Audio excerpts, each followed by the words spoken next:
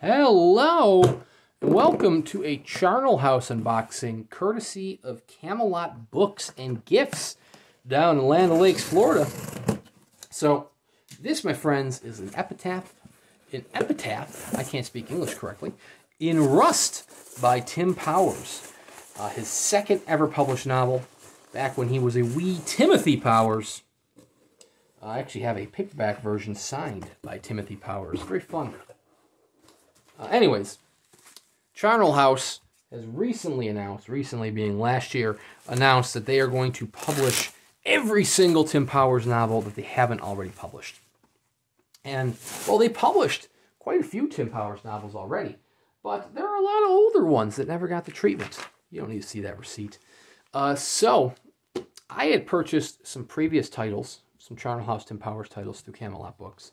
So they offered me a wonderful matching number when the first title came around, and I went ahead and took them up on the offer. So now I've been buying them all through uh, Camelot Books. I love the presentation. They always wrap up their books with nice wrapping paper. Makes it feel like it's your birthday or Christmas all over again. Uh, so my number is number 118. Uh, this being the second novel is now the second in their plans of publishing all his titles bound in beautiful Japanese silk. Let's pull it out of this. Wow. And silver foil stamped tragedy and comedy masks on the cover. Uh, it's kind of designed like a playbill because this deals with a play. Right there. The Bellamy Theater. Look at that. It is like a playbill. Bellamy Theater, associated with the Charnel House Players, presents an epitaph, epitaph in Rust. I, I just I, am recovering from Bell's palsy, so English is difficult right now. A novel in two acts by Tim Powers. Taking photographs is strictly prohibited. Turn cell phones off during performance. Uh, that's awesome. So originally published in 1976 by Timothy Powers. Uh, this deals with a monk on the run, runaway monk. This monk runs away to join the circus. Well, technically, he runs away to join the uh, theater so he does. He joins. He joins the theater. This is a future in which the cops are androids, and uh, he joins the theater, which is putting on a production of As You Like It, the Shakespearean play, only to discover that they're not actually a theater troupe. They are, in fact, a bunch of revolutionaries uh, using the theater as a front to stage their revolution.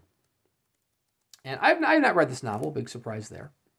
Uh, but like all of the titles from Charnel House, you have your signature in the back. Tim Powers, number 118 of 200 number copies. That is so cool. The who's who in the cast. Oh my god, I love it. Uh, so, anyways, box office and merchandise. Serena Powers, Joe Stefko directed the stage. He's the man behind uh, behind the press. So, anyways, I've not read this novel. Uh, I've heard very mixed to kind of negative things about it. It that it reads apparently like it's definitely an author's early work, which is a shame. But I mean, it is a second novel, so you know you got to start somewhere. Still a better job than I would ever do. Uh, but very excited to add it to the shelf. Uh, this is not the first limited edition version of the novel. It got a numbered edition back, I want to say in the 80s. I want to say it was the uh, NESFA the, uh, the science fiction folks that did it, but uh, I could be wrong on that. Could be wrong on many things. I don't know. Uh, anyways, uh, check out Charnel House. They do very creative things with publications. I've done several Charnel House unboxings on this channel, several Tim Powers boxings, uh, both related to Charnel House and otherwise. Uh, love, love me some Tim Powers. His Secret History style is fantastic, although this isn't a secret history. But we are rapidly approaching his secret histories, and they should be getting the Charnel House press, uh, treatment very soon. If they are going to continue to follow uh, his bibliography, next up is going to be The Drawing of the Dark, uh, which did get a Subterranean Press limited edition, but not a Charnel House. Following that up with Anubis Gates, which is one of my favorite novels ever, which got the which got several uh, special edition treatments over the years. Biggest of which being uh, Centipede Press. I have an unsigned copy of that, but I cannot wait to see what Charnel House does with that. Um, Charnel House does numbered and lettered editions. The lettered editions are always very creative in what's usually embedded into the cover. Uh, one used uncirculated dollar bills for the end sheets. Uh, one had a fit, one which was actually Tim Powers. One had an etch a sketch, a working etch a sketch, uh, set into the cover. Uh, Regulators by Richard Bachman, aka Stephen King, had friggin' bullets jutting out of the cover for that lettered edition.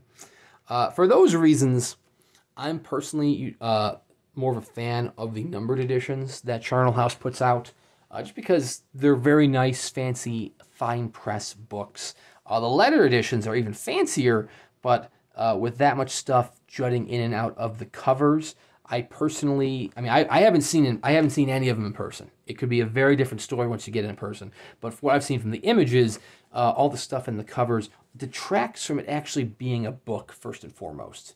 Like the regulators, cool, you got bullets coming out of it, but I couldn't physically hold that to read it. Um, but like I said, I've heard from people that it, it's even nicer in person. So maybe you can absolutely read it. Uh, not that I, I don't think people want to read their letter editions anyways. It's just the principle of it to me. I like the nice, simpler nature of the numbered editions. I could pull this from the shelf and read it if I wanted to. Uh, whereas the letter edition, I don't know what the letter edition has. This one I think is just bound in like Moroccan leather. I think it does actually mention it in the back here. Uh, let's see. Yeah, just uh, red Morocco leather. So I don't think anything too fancy is going on with the leather edition for this one, but you never know. Uh, anyways, check out Charnel House. Uh, they have been in the business for quite some time. I think it was, what, 92 or 89 uh, that they did the first publication. The first publication was Tim Powers. Uh, it was The Stress of Her Regard, which is why I want to say 92. Um, I could be wrong on that. Uh, but anyways, they're still going strong. Joe Stefko is doing a marvelous things with the books that he is producing. And if you're a Tim Powers fan like me, then you are going to get a huge slew of Tim Powers limited editions through Charnel House. It is they you know, they have an agreement, and I'm all for it. Uh, thank you very much for watching. I will continue to do these unboxings as they arrive. Uh, so please consider liking and subscribing. Check out Camelot Books as well. They, uh, Kim and Tony do a phenomenal job down there. Uh, and like I said, they wrap your books up nice and pretty for you. So it's like Christmas or your birthday. Uh, when you get to the holidays, they actually use holiday wrapping paper. So that's fun. Uh, so check them out as well. Thank you very much for watching, and we'll see you around next time.